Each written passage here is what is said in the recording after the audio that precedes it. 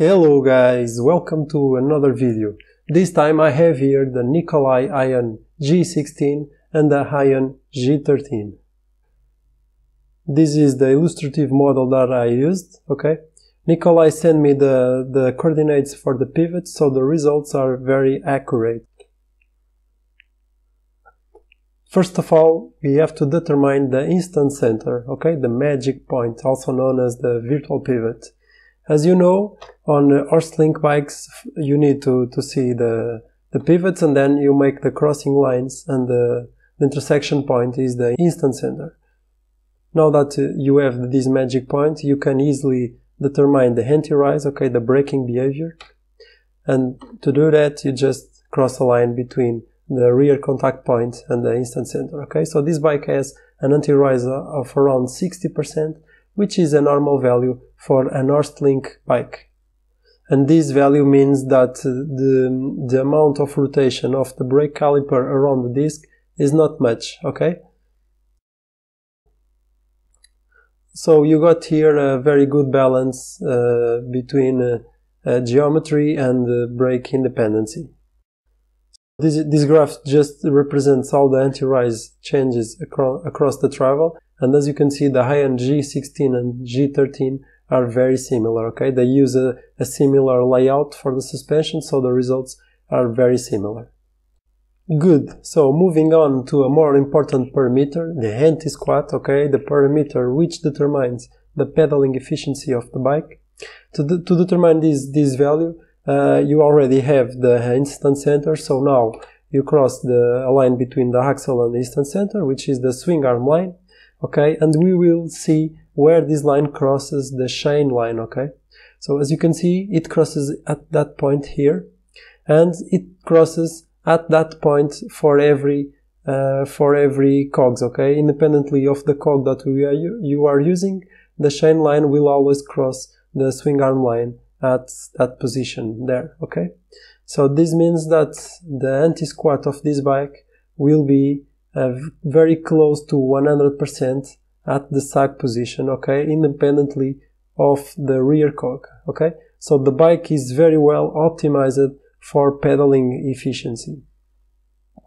And as you can see in this graph, which uh, represents the anti-squat values across the travel, you can see that at the sag position, okay, on the pedaling zone here, um, the anti-squats are, are around 100, 100%, okay?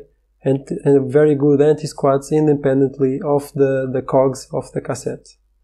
This, this graph is for the G16 but the G13 is very similar, okay?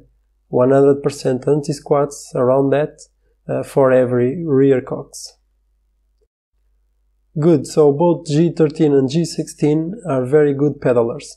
As you might know, to have anti-squats, you need to have chain grow, okay? Unless you have a high pivot bike, on high pivot bikes you can have good anti-squats without having chain grow, but on traditional bikes with the low pivots, uh, you need to have this chain grow in order to have the chain pulling, okay?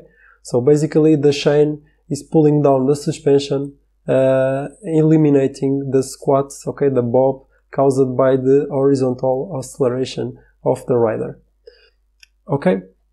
So the, the chain grow is basically the result uh, of this distance, okay, the bottom bracket uh, axle distance. And as you can see, this distance increases during the travel, okay? And in this case, the G16 has a 22 millimeters of chain grow, which is a, a good value for a bike that pedals uh, so well.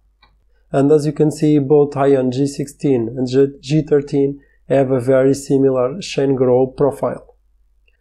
Just a small note, uh, the, the more chain grow you have, the more pedal kickback you have, okay? Because since the chain is growing, is pulling you, is pulling back the pedals, okay? The pedals are rotating back because the chain is pulling back the, the, the pedals, okay? So chain grow is proportional to the, to the pedal kickback. To compare this with other bikes, I drawn this, this graph which represents several bikes, okay, represents the chain grow of several bikes and the Ion G16 is this one, the green line. And as you can see, we can separate these bikes in three groups.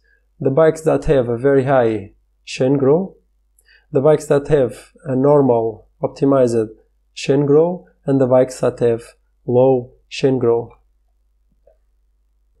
The bikes that have high chain grow they are they just have Aishan grow because they have huge anti squats, too much anti squats, or because they are not well optimized. Okay, these ones, the ones that have low chain grow, uh, this is just because they have low anti squats. Okay, so the pedaling efficiency is also low.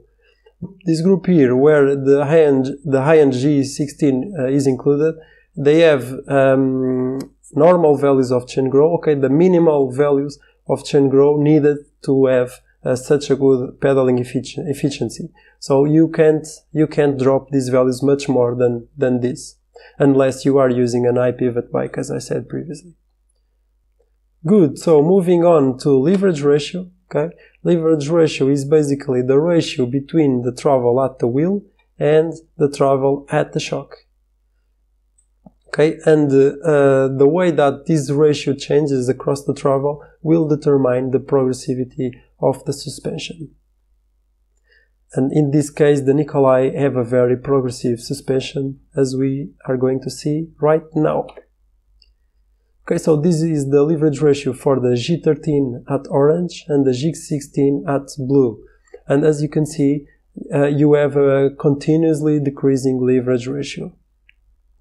And a very interesting uh, aspect is that um, since the suspension layout of both bikes are similar, uh, in this case, the more travel the bike has, the more progressive it will be. Okay, I'm simulating the Ion G16 as a 150-50 millimeters bike, but you can increase the travel on this bike to 170.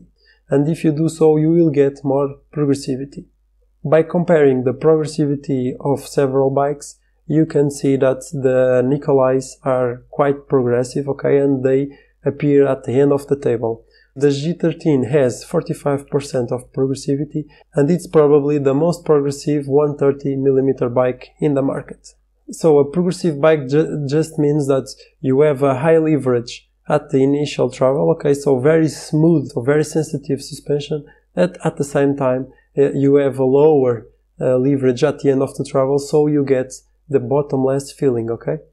So on big jumps and bigger impacts, the suspension will be very smooth at the end of the travel. You don't feel that harsh impact at the end of the travels. In addition, the G16 is also very progressive, and if you use the G16 with the more travel version, uh, you will get uh, more like 10% of progressivity. So on both bikes, you won't need much uh, bottom out spacers or you, or you don't need much high speed compression to avoid the, those annoying harsh bottom outs. Okay, so the suspension will be uh, very good. Okay, to conclude, both Ion G13 and 16 have very good pedaling efficiency with anti-squats around 100% and the chain grow and pedal kickback is very well optimized for such uh, good pedaling efficiency. Okay, so they are under normal levels.